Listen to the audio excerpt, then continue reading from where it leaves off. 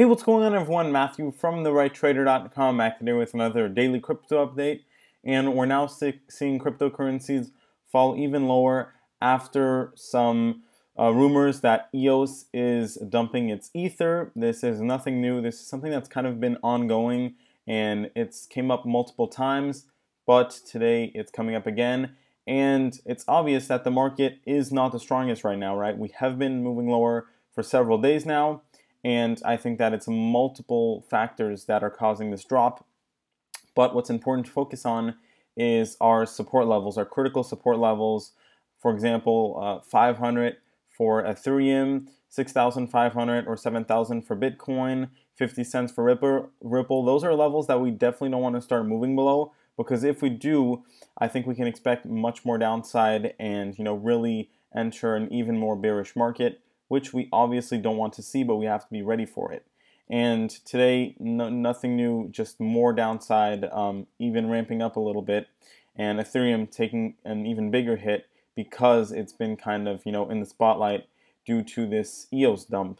So I'm not going to get too much into the details of this, but basically, uh, what some people suspect is that EOS is dumping all of their coins on on Bitfinex, their Ether, this has been kind of ongoing and it's created multiple scares, but you know a lot of evidence seems to be mounting against them, and some people find it shady that you know Tether uh, printed 250 million um, with kind of in line with the dumping of EOS, and it seems to be you know very suspicious how this all went about, and it's understandable. So definitely creating some scare, uh, definitely causing Ether to dump even more and it's it's something that could could continue to happen uh, because they do still have 200k ether left in their crowd sale wallet.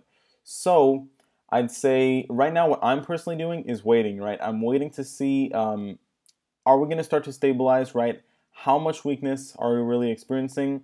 And I'm just waiting for that right time to get back in. Basically, I'm I'm not rushing. I'm not going to get back into the market if things are are shaky and that's just my personal opinion. That's not financial advice. Now let's go ahead and take a look at the technicals here. Uh, don't forget to follow me on Twitter for live cryptocurrency market updates. Link to that in the description of this video. But to get started with the technicals, Bitcoin is still um, downtrending, as you can see. And with a lot of these cryptos, you will see a little bit of a head and shoulders pattern. It's not too obvious on the Bitcoin chart. You'll see it better on the Ethereum chart. But it's not a good pattern, right? That is a bearish pattern, which usually leads to you know a break of the support level and more downside movement. So for example, here for Bitcoin, it would be a break of 6,500 satoshis and uh, sorry dollars and start moving lower. Definitely possible, but we have to wait and see. Right, make sure uh, that we we need to wait, see if we're able to get support at 6,500 dollars, see if we can bounce and you know kind of recover from that level. If we don't, or we're probably going to be heading right back down to 5,000 dollars, and I think that's a gap that we actually never closed. So, you know, it's definitely in the cards here, and maybe even you know a drop to our longer term uptrend line is also possible. This blue uptrend line right here. So if we move below 6,500 Satoshis, the bottom line is much more downside um, up until you know that 5,000 area, give or take. Now let's go ahead and take a look, and I should also mention no signs of really slowing down uh, the downside here. You know, indicators kind of falling off a cliff about to go under the 30 line on the RSI. But going over to Ethereum, Ethereum very sharp drop, uh, definitely downtrending here, and the head and shoulders pattern is much more clear. So I think that we're, we're definitely going to test $500, and then it's going to be a matter of are we going to be able to get a bounce or are we going to be moving lower, right? Based on what I said with the head and shoulders pattern, there is a little bit more um, evidence saying that we're going to move lower uh, down to you know our next big support level, which would be around $366. But we would first have to get that confirmation of start to move below $500 to to give us that that bearish signal. Indicators also you know big rounding down, so not the best sign. Let's take a look at our next cryptocurrency, which is going to be Litecoin, and see what's going on. Litecoin is currently in this little uh, symmetrical triangle pattern Still downtrending, coming up on that $110 support level. I think that there's a pretty high chance for Litecoin, seeing how close it is to its downtrend line right now, that we're not going to be able to remain above $110 and that we're going to move down to around $100 that's where we have, you know, multiple support layers being that $100 mark in our uptrend line, and that would be a very logical, good area to bounce off of. Let's take a look at our next cryptocurrency, which is going to be, let's see, and I should also mention that this is, this pullback here, um, which has been going on for a while now, basically uh, has a chance to push us back all the way to where we were, you know, before the big run up happened, right? Um, and and that's that's a shame, but it is what it is. You have to adapt. Nano is currently hanging around 50,000 satoshis. It did end up dropping a little bit below that. Not a good sign at all. We still have to see, you know, maybe we'll be able to create a base at around 50,000 satoshis. That would obviously be best. If we don't, if we start moving lower in this 40,000 satoshi range, I think that we're just going to continue to see some pretty nice, nasty downside. Let's take a look at Ripple now, see what's going on. So we're going to take a look. It's definitely getting close to 50 cents.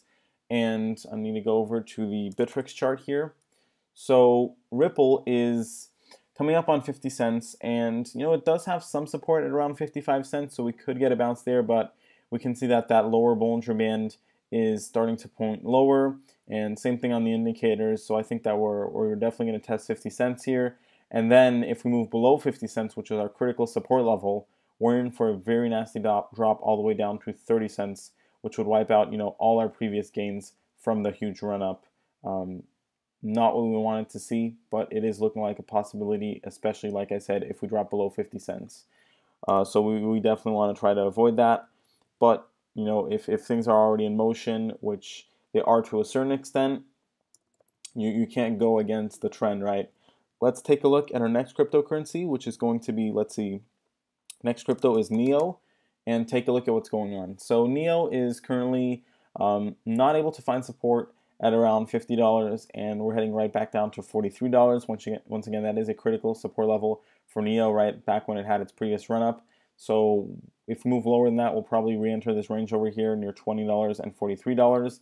And basically, we'll have wiped out all the gains that we made, right, um, in the past few months. Let's take a look at our next cryptocurrency, which is going to be Stellar Lumens, and see if it's also getting affected like the rest of the market. So Stellar Lumens is actually managing to hold up decently well. We're still in this range between 3,500 and 4,000 Satoshis. It's been moving um, against the crowd a little bit. So it's not necessarily following the general market trends. However, that's not to say that we're not going to fall lower, right? There's definitely a fair chance that we do end up dropping lower uh, down to 3,000 or even 2,500 Satoshis. But I do think it'll hold up a little bit better than other cryptos. Let's take a look at our next uh, crypto, and that is going to be Vertcoin. See what's happening. Smaller cryptocurrencies obviously have a harder time of withstanding uh, these market turmoils and that's why we're heading right back down to a dollar and 54 cents. Seeing how a lot of cryptos seem to at least have a bit more downside to go, I think that we will move below that critical support level, uh, and that's that's not what we wanted to see for for Vertcoin. That will have removed all previous gains, and you know it'll just put us back in this you know basically below a dollar probably. Let's go ahead and take a look at our next cryptocurrency, which is going to be, let's see, next up is Lisk, and take a look at what's going on. So Lisk is currently right at around eight dollars. Pretty big red candlestick here today, and we we also you know still fully downtrending now. Indicators also taking a hit. I think that we're gonna come and rest around five dollars here, which is a nice round number to get some support at. But I do think that we're going to be heading back there and testing the level. Hopefully, won't be moving lower than that. Let's go ahead and take a look at Cardano. Cardano, I believe, has held up a little bit better than other cryptos actually.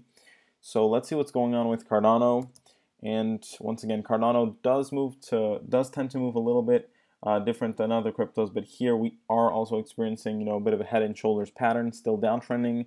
Uh, it looks like we're even starting to dip below that 2,500 Satoshi support level, and I think that we're in for a drop down to 2,000 Satoshis here. It's kind of been a long time coming, but it is what it is. Let's take a look at our last cryptocurrency of the daily crypto update, and that's going to be IOTA. Now, IOTA is below $1.47, which was our important support level. Now, I think that we're fully uh, in for a drop down to a dollar, a dollar and 10 cents. You know, that's where we want to see a bounce. Otherwise, if we drop below a dollar, uh, things can get very nasty for IOTA.